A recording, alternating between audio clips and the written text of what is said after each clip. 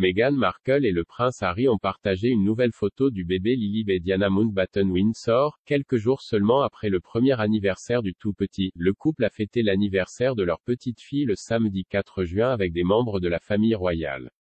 La photo montre Lilibet souriante et vêtue d'une robe bleu pâle avec un nœud blanc dans les cheveux. Elle a été prise lors d'un pique-nique organisé par le duc et la duchesse de Sussex à Frogmore Cottage le jour de son anniversaire. La famille proche et les amis ont été invités à célébrer l'occasion à la résidence de Windsor. Cependant, un porte-parole du couple n'a pas nommé les membres spécifiques de la famille qui étaient présents.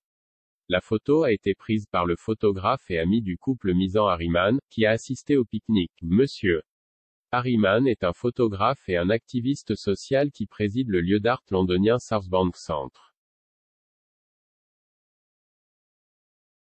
Il a partagé la photo du bébé Lilibet avec ses abonnés sur les réseaux sociaux, ainsi que d'autres photos de sa famille lors du pique-nique.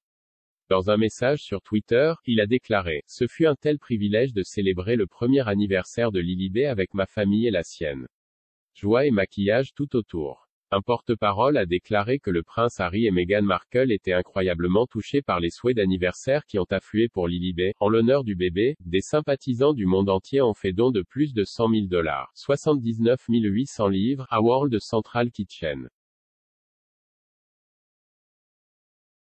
L'organisation à but non lucratif, qui est en partenariat avec la fondation Harkwell de Harry et Meghan, fournit des repas aux personnes touchées par les crises humanitaires. Un gâteau de la boulangère du mariage du couple, Claire Tack, a également été servi lors du pique-nique. Harry et Meghan ont visité le Royaume-Uni avec leurs enfants pour la première fois depuis 2020, date à laquelle ils sont partis après avoir démissionné en tant que membres supérieurs de la famille royale.